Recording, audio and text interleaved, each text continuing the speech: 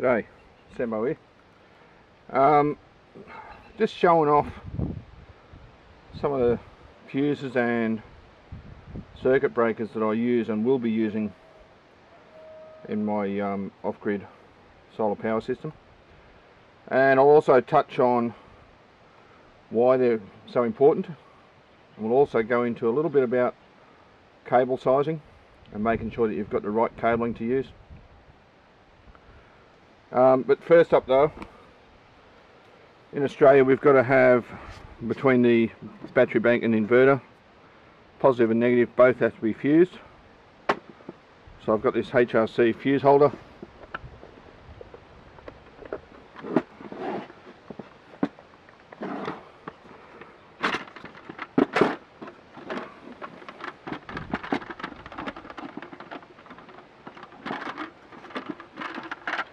and that just pulls apart. And we've got the fuses there.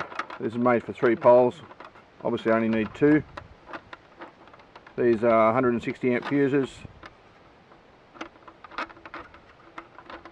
Pull them out slide along. That's them there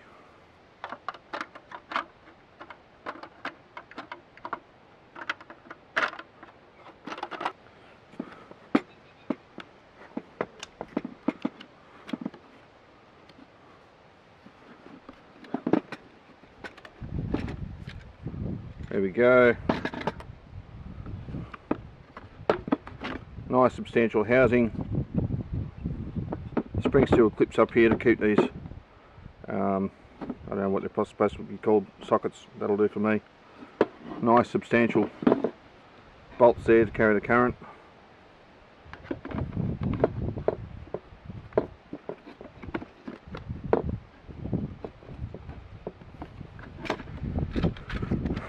They just lock in.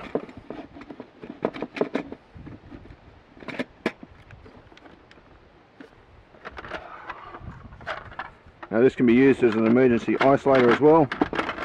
When it's bolted to the wall it's a lot easier to open.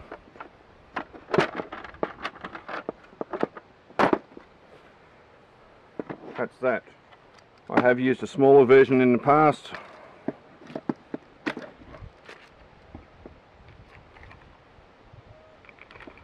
They're 40 amps. As isolators from my between the solar panel and the um, charge controller. I use DC rated circuit breakers. This is a 20 amp circuit breaker. There's a 100 amp circuit breaker there. I know it's overkill. Um, got it for the right price and today I'm just going to be using that as a switch when I start mucking around over here. And I'm also going to test out this AC circuit breaker. So that's off at the moment. I've got this thin wire hooked up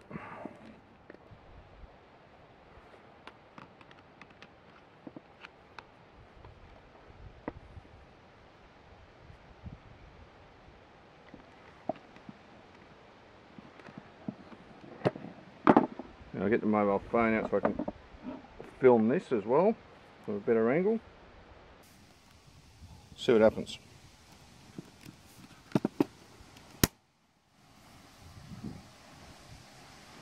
Thirty-one amps.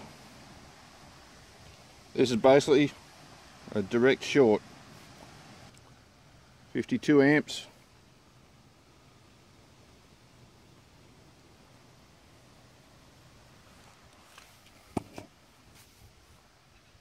64 amps. Look at that, smoking.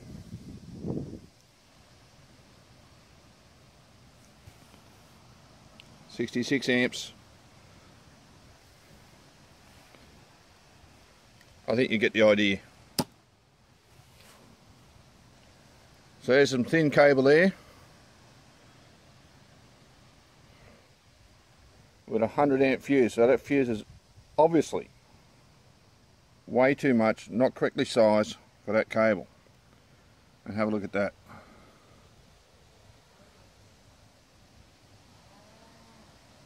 Now if that was in your house and you didn't know about it, you'd just have a flaming mess when you got home. So, let's uh, change things around a bit. Alright, I've got two strands of heavier duty cable there. Got a 20 amp DC circuit breaker. Got the 100 amp one again just to act as my switch. Um, multimeter's ready to go. There we go, 51 amps, 53 amps,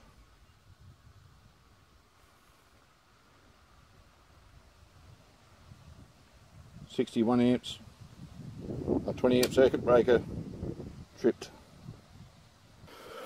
All right, ready to go again. AC circuit breaker. On. Clamp meters ready. 100 amp circuit breaker. Let's go again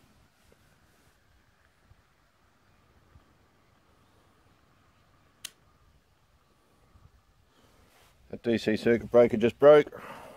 Another fuse I didn't mention earlier. I've got these blue sea terminal fuses. So they basically they go on your terminal post there have the fuse. So this is rated at 60 amps. And then you go from here to your bus bar or well I'll be going from each battery bank to a bus bar or you can go straight from there to your inverter.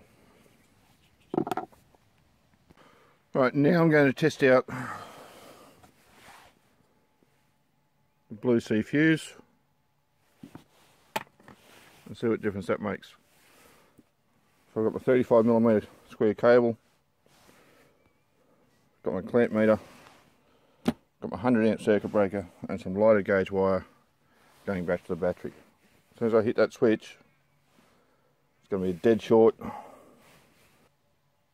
we'll have some sort of idea of what's going on with that cable and then I'll put the fuse on and test it again.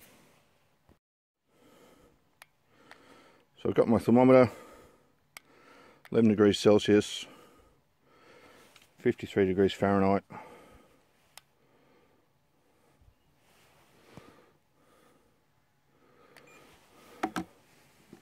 Let's do this. 37 amps. 52 degrees. 43 amps. 56 degrees. I'll go back to Celsius 55 amps 14 degrees 70 amps 16 degrees 80 amps 20 degrees. Things are starting to heat up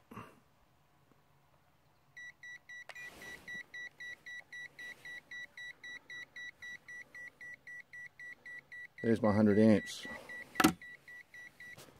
right got the setup here straight from the battery to a 100 amp circuit breaker. I've got some very light gauge wire there.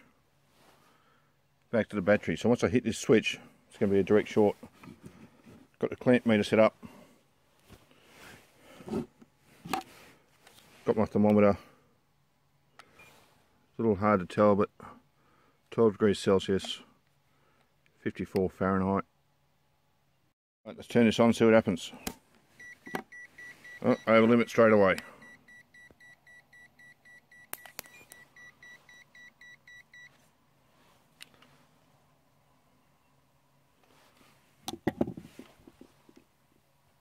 So there's nothing left there but a stinking mess. But at least the circuit's broken. Now this fuse is not matched to suit this cable. This is just for demonstration purposes. I've got the other camera watching the cabling to see if that goes up in a cloud of smoke again. And let's go.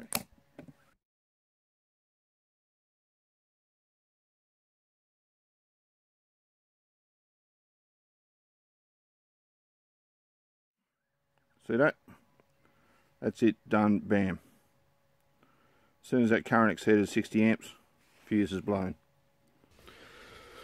Alright, so what can you take away from this? Make sure that you have the right size cabling. As you can see there, too small cabling, you can end up with a flaming mess.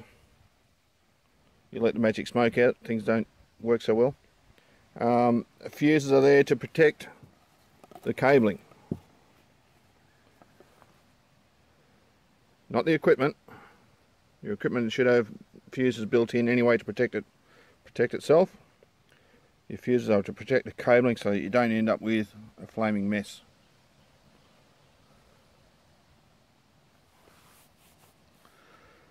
So, thanks for watching, and I'll talk to you in another video.